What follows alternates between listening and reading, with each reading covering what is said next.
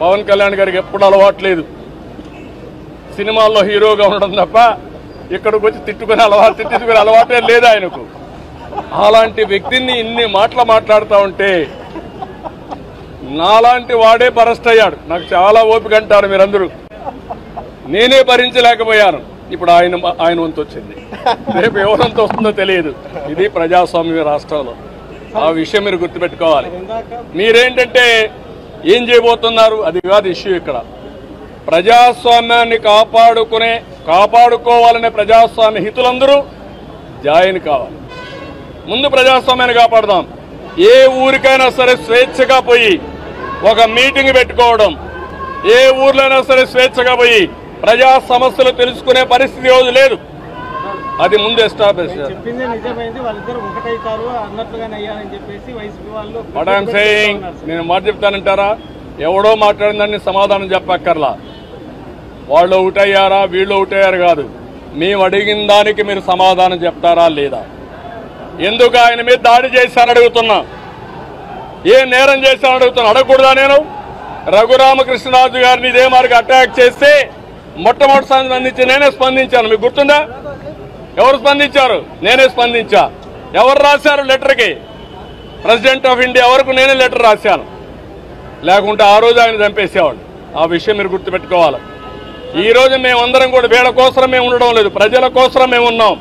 ప్రజల కోసం మేము ఉన్నప్పుడు కనీసం ప్రజాస్వామ్య విలువలే లేనప్పుడు ఏం పోరాడతామండి?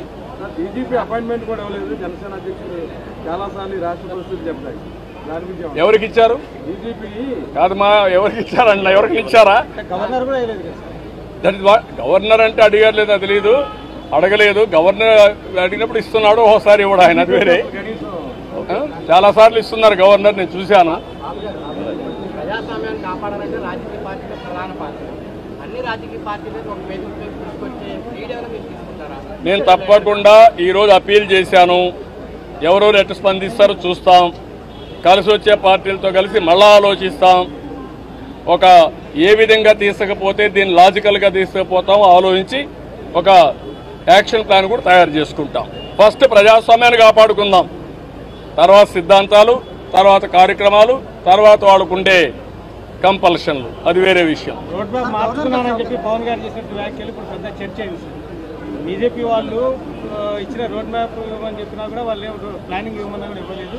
కాబట్టి నా నేను మార్చుకుంటున్నానని చెప్పి మీరు ఇచ్చిన ప్రసంగం దానికి సంబంధించి ఇప్పుడు బాగా context out of context out of context అంతే కదా సో- సోము వీరాజు గారిని కలిసి. రూట్ మ్యాప్ ఎలా కలిసి మేము మేమే మే ఇద్దరం కలిసి ఎలా ఎన్నికలకు వెళ్ళాలి? ఆ రూట్ మ్యాప్ అంటే మా వ్యూహాలు వేరుగా ఉంటాయి. ఇంకా వ్యూహాలు కూడా మార్చుకునే అవకాశం ఉందని కూడా అన్నారు. వ్యూహాలు అంటే? వ్యూహాలు. ఖచ్చితంగా పోరాటం చేసే వ్యూహాలు ఖచ్చితంగా మార్చు వైసీపీతో మీద పోరాటం చేసే వ్యూహాలు మార్చుకోవాలి కదా మరి కేసులు పెడుతున్నప్పుడు ఏం చేస్తాం? సార్ మొన్న మీ పార్టీ మీడియా కోఆర్డినేటర్ని కస్టోడియల్ టార్చర్ ఇవాళ జనసేన వైపు నుంచి కూడా నాగబాబు గారి అసిస్టెంట్స్ని ఎవరినో ఇద్దరిని హోటల్ గదిలో వచ్చి అవునండి, అవును. కొంతమంది పవన్ గారికి రెస్పాండ్ చేయడానికి ఇన్నర్ లాబీల్లో ఉంటే వాళ్ళ మీద కూడా కేసులు పెట్టి ఇప్పుడు నవదేవాల నుంచి